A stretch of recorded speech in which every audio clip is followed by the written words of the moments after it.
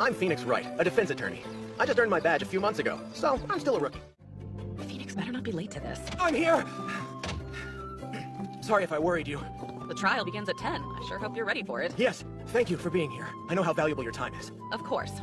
I couldn't take you under my wing and then skip out on your big day. You're finally leaving the nest. Thanks. Always so ambitious. This is a homicide case. Not many people would take one on for their first trial. I know what I'm getting myself into, boss. But I had to take it, because I owe it to him. To whom? The defendant? Yes. Actually, I've known the guy ever since we were in grade school. He's part of the reason I wanted to be a defense lawyer in the first place. Let's hope you can clear his name.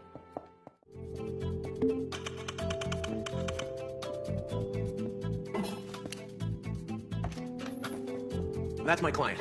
Good old Larry Butts. He and I go way back, to say the least. This guy inspired you to become a lawyer? You were serious, right? Yes, it's a long story. He's weird, but deep down, he's a stand-up guy. He seems to have trouble sitting down. Butts has always been a cheeky one.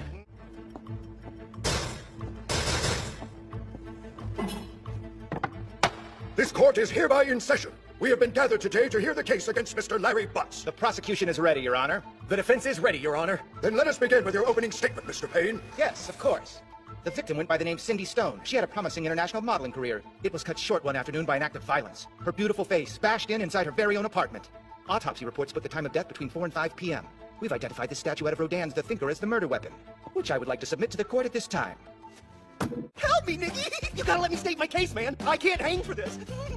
The prosecution would now like to call Mr. Butts to the stand, Your Honor. Ah! Very well. You may proceed. Hello, Mr. Butts. Now, is it true you'd recently been dumped? Huh?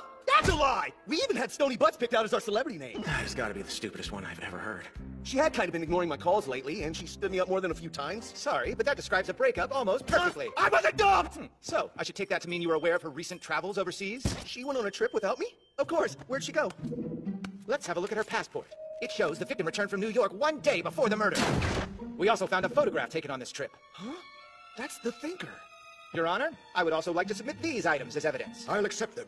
Hey! Hang on just a second, man. Who the hell took that picture? The man with whom she was traveling. Oh, hell no!